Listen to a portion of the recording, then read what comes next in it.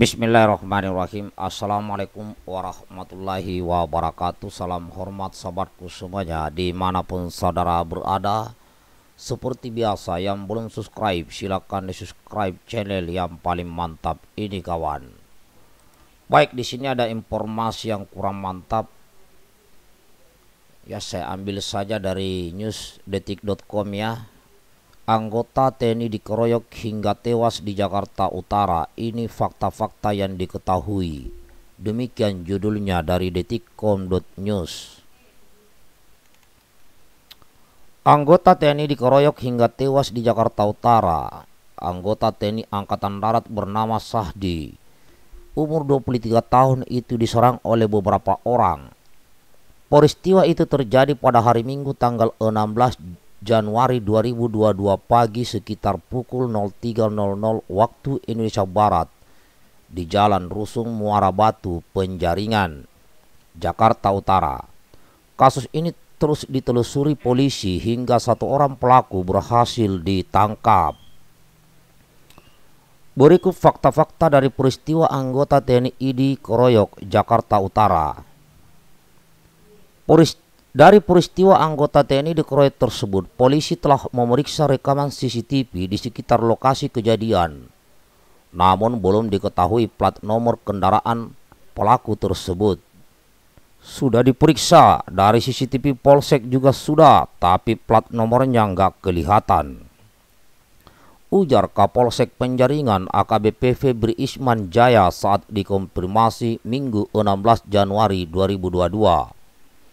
Dia menyebut polisi masih belum mengetahui plat nomor kendaraan dari pelaku pengeroyokan tersebut. Hal tersebut dikarenakan kondisi jalanan yang gelap dan terlalu banyak kendaraan yang melintas di hari tersebut. Kendaraan yang melintas banyak, tapi untuk memastikan kendaraan pelaku tidak jelas karena malam hari, jelas Febri. Selain memeriksa hasil rekaman CCTV, Febri juga mengungkapkan terkait adanya salah seorang warga sipil yang menjadi korban atas peristiwa pengkeroyokan anggota TNI tersebut. Sipil satu orang korban, kata Febri. Dia menerangkan satu warga sipil itu kini dalam kondisi kritis dan sedang menjalani perawatan di rumah sakit Atma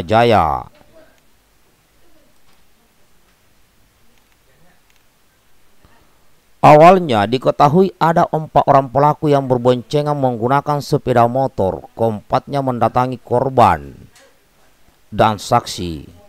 Pelaku turun dari motor dan mendatangi para saksi satu persatu menanyakan, apakah kamu orang Kupang? Kemudian saksi Sopia menjawab, saya bukan orang Kupang, saya orang Lampung. Setelah itu pelaku bertanya ke korban dan korban tidak menjawab ujar Kabit Humas Polda Metro Jaya, Kombes Julpan dalam keterangannya Senin 17 Januari 2022. Setelah itu terjadi cekcok antara pelaku dan korban. Perkelahian pun terjadi dengan para pelaku yang mencekik leher korban dan tusuk korban sebanyak dua kali menggunakan sajam. Satu pelaku berkaus hitam mencekik leher korban sambil memegang tangan korban. Kemudian salah satu pelaku berkaos biru menusuk korban menggunakan senjata tajam sebanyak dua kali hingga korban jatuh tersungkur imbu kombes Julpan. Sejumlah saksi mencoba melerai perkelahian tersebut namun pelaku lainnya justru melukai para saksi yang mencoba melerai. Pelaku kaos hitam dan biru secara acak menyerang orang yang ingin melerai pelaku termasuk korban atas nama Samsul.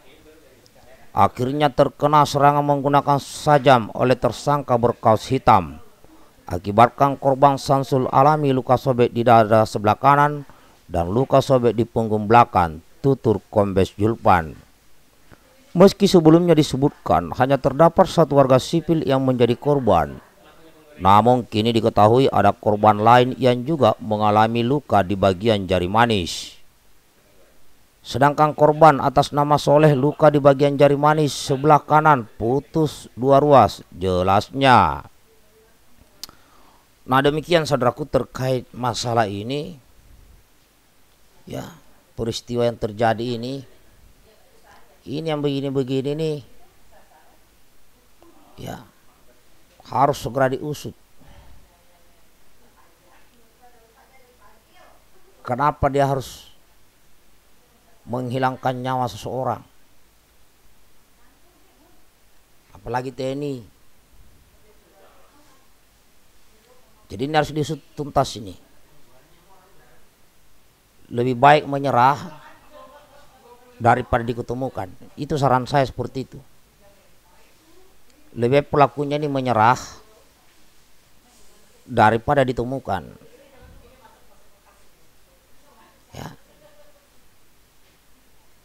Saya juga lihat ini sekarang saran saya kepada Mabes TNI ya untuk wilayah Jakarta ini kan banyak kejahatan nih. Hampir setiap hari kita dengar beritanya hampir saran saya seluruh anggota TNI kalau keluar itu ya paling tidak bawa anu lah senjata lah atau ya minimal bawa sangkur.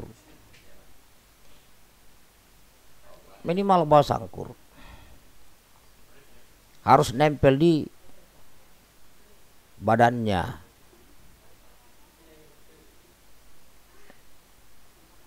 Yang kayak gini-gini untuk antisipasi yang begini-begini.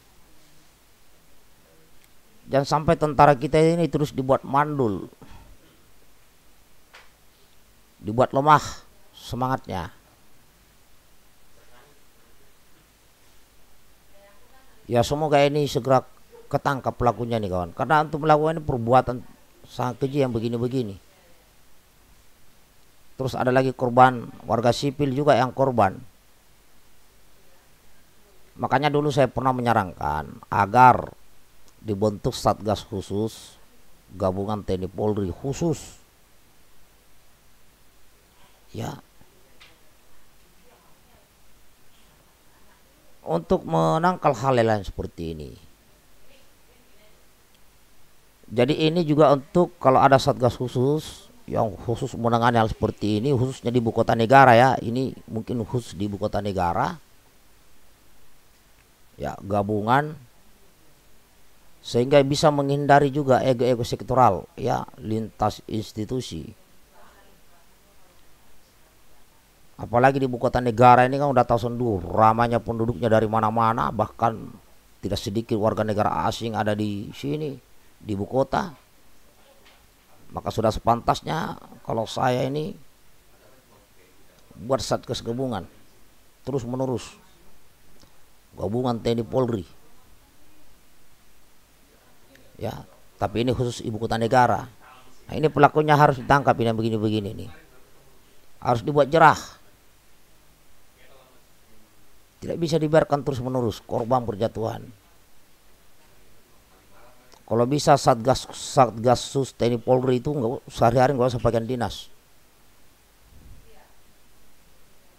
Tapi gabungan. Gabungan. Di luar intil-intil yang sudah ada. Karena ini ibu kota negara ini ya rawan kejahatan ya semoga ini bisa diusut uh, ditemukan oleh aparat ya karena saya monitor. Kayaknya Puspon ini juga ikut turun menyelidiki. Makanya pesan saya kepada pelaku lebih baik menyerah daripada tertangkap. Ini aja kawan bagikan videonya. Mudah-mudahan tidak terjadi lagi. Assalamualaikum warahmatullahi wabarakatuh semuanya. Merdeka